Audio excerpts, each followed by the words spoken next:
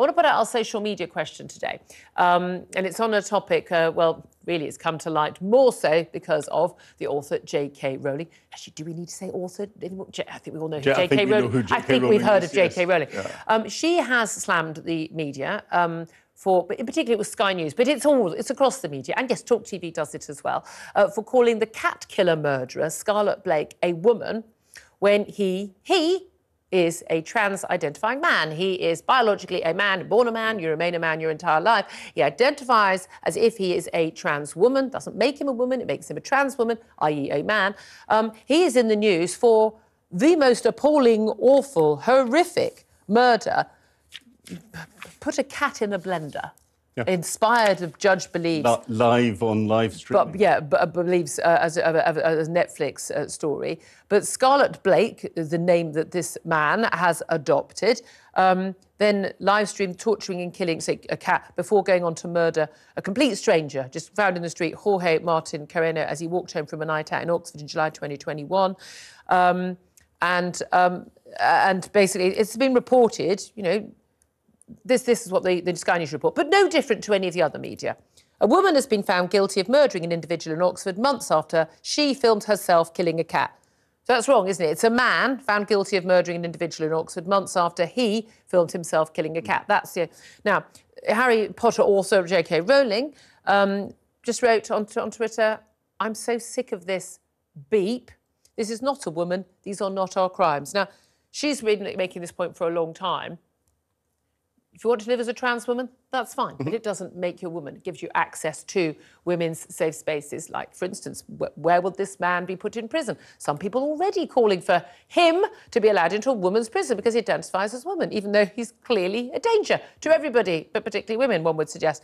Um, but also the idea that there are a huge spate of crimes now being committed, apparently sadistic, violent, even sex crimes, even rapes and sex assaults by women when actually they're being committed by men who then say they identify as women. And bearing in mind that the latest stats, of course, uh, the UK prison service, uh, including England, Wales, and Scotland, um, the mainland Britain, show that 70% of male prisoners who identify as trans have convictions for sex crimes or, or violent violence. crimes. Yep.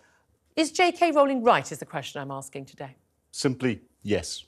No, well, done. It's not that complicated, it's not, it? It's not complicated at all. Is it transphobic for her to say this? No, not at all. You know, it doesn't matter how someone identifies, and whatever way they identify, respect that um, uh, 100%. Respect it in what way? Um, if someone identifies as a woman, you will respect that that is what they want to do, but it doesn't change the biological fact, as you say. It doesn't change how their hormones are working. It doesn't change how their brain is. It doesn't change how their testosterone levels are. Uh, that has to be art artificially altered. But it, even then, you can't alter it to a level of a woman's anyway. Correct. But the key thing is, you are you are still biologically a man. End of. Full. Yeah.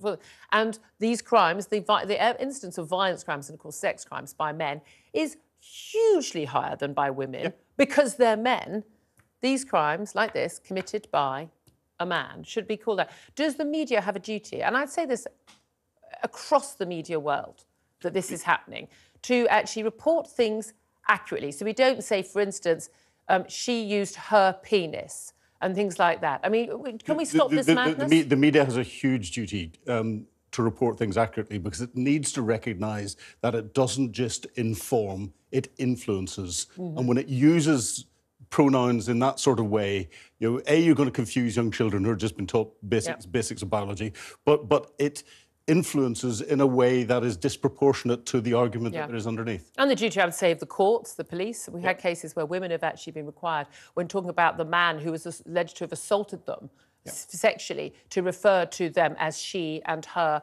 and her penis. It's totally unacceptable. And, you know, I, I, think, as you, as you said um, before we started, you know, the English definition of rape means that a woman should not can, be able to biologically no, can, rape. Cannot, because it involves a man, involves a penis.